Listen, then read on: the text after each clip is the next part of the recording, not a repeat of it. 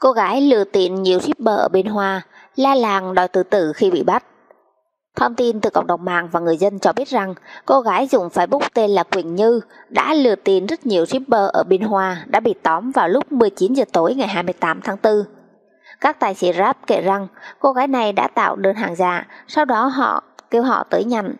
Sau đó cô gái đề nghị các tài xế Grab phải ứng tiền trước mỗi đơn hàng tầm 400 đến 500 ngàn đồng.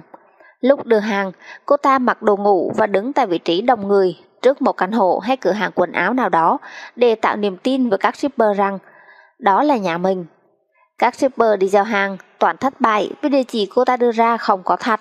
Họ gọi điện thì kẻ lừa đảo không bắt máy, quay lại nơi nhận hàng thì vỡ lẽ đây cũng chẳng phải nhà của cô ta nên biết mình đã bị lừa. Nhiều shipper bị lừa chung cùng một kiểu nên đã lên kế hoạch truy bắt cô nàng tối qua trước ngân hàng Sacombank, phòng giao dịch Bình Hòa.